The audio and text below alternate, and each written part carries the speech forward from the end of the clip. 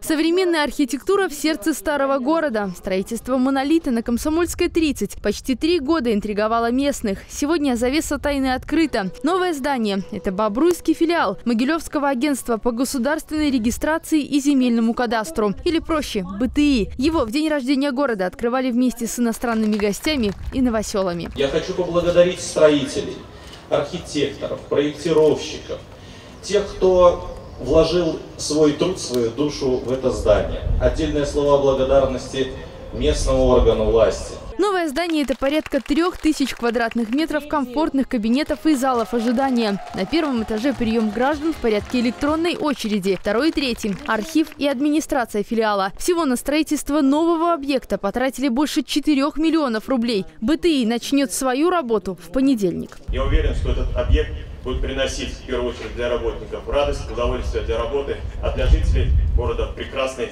объект, который украсит наш прекрасный город.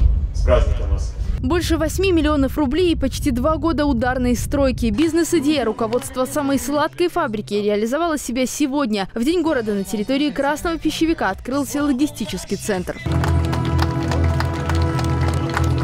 2300 квадратных метров и высота почти в семиэтажное здание. Поможет разместить продукцию в объемах до 2000 тонн. Причем не только сладкой фабрики Бобруйска, но и коммунарки, Слодыча, Спартака не исключен и импорт. Сколько людей здесь будет трудиться? Кто это?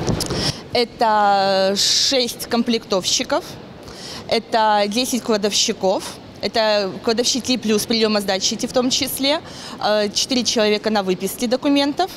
И два человека на штабелерах, в каждую смену по два человека, штабелеры, водители погрузчиков и на электротележках.